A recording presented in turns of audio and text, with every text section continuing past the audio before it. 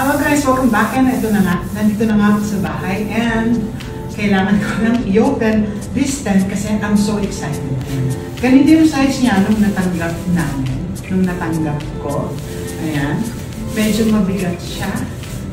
Siguro it's um, mga tatlo o apat na kilo yung bigat niya. Pero sa size naman niya, it's uh, it's fair enough kasi meron pang kasamang mga bakal since it's 10 para mas tumayo siya ng gusto at mas ma ma-form natin ng maayos yung ating tent eh okay lang yan. So I'm gonna start uh, opening this. Wala na siyang box pero kompleto naman yung seal niya. Ayan this is a ship from Jeddah Islamic Seaport 2155577 Jeddah, Saudi Arabia. This is cash on delivery from Amazon. This is 239.72 reals including the the delivery. Yung shipping kasi is free. So ayan. Ang size niya ng nakasara is 18.0 by 15.2 by 18. Hindi ko magupit yung yung tent.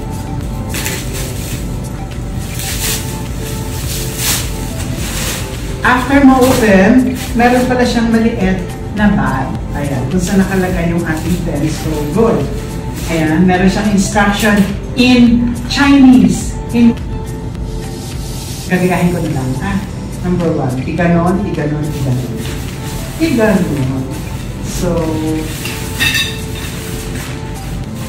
ako rin naman space for this. Ha? Ano ako lang na tagal na. Ano gawa ko na? Ah, anyway. Kaya ilan ito siya? Yung pasok sila niyan. Tapos number 2 is, yung tayo, number 2. Number 3 is lahat. Number 4 is down. Ay, mo, kamay nila, oh my God. Oh my God, I'm so excited. Kaya hindi ba ko parang sinisip. Ako yung aking nagawa. Yan. Oh my God, I'm so excited. Woo! Tapos, nasabi natin, ayan. Oh. Oh no. Is this for real? Ang galing. Oh my God. Sino siya? Hindi niya siya nakikita ng maayos dun sa paggawa ko. Ayan. In-open ko na siya pero hindi siya masyadong open wide kasi nga napakaliit ng ating space. Ayan.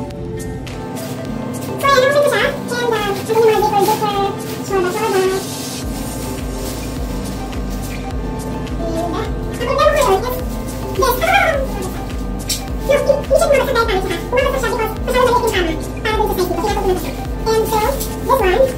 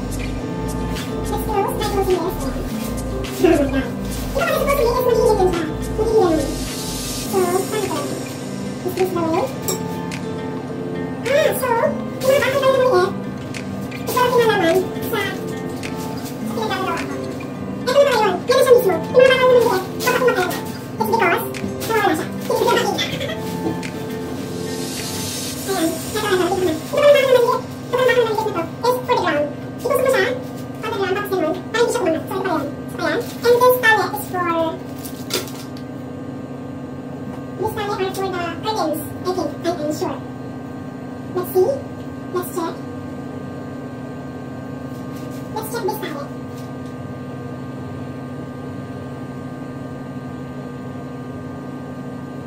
Ah, this palette are for the side. So this is one, one, two, three, four, five. This is five. And ah, six. One, two, three, four. Sa apat na gilid, itong tali. Am I right?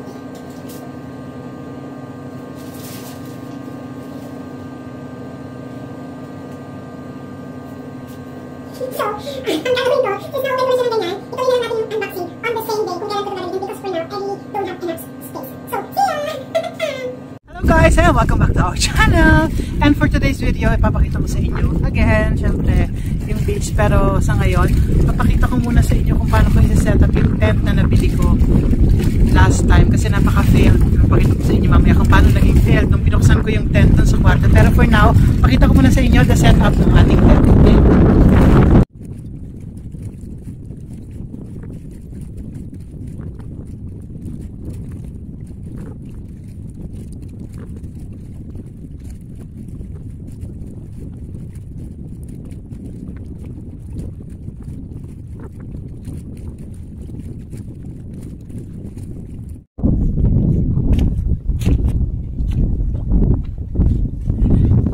Set up na natin ating tent na malaki naman siya. Actually, pwedeng tatlo, apat, kung gusto nyo magsiksikan, pwedeng pwede kayo sa gitna. And aside from that, meron akong pinili na pang, ano tawag dito? Pante nga ba to? Oo, basta yung ganon. Yung ilalagay mo to sa tubig. Ayan. Para malay mo kung ang isda. And isa pang panghuli daw ng ng kung ano-ano. Ayan. Ganyan yung itsura niyan.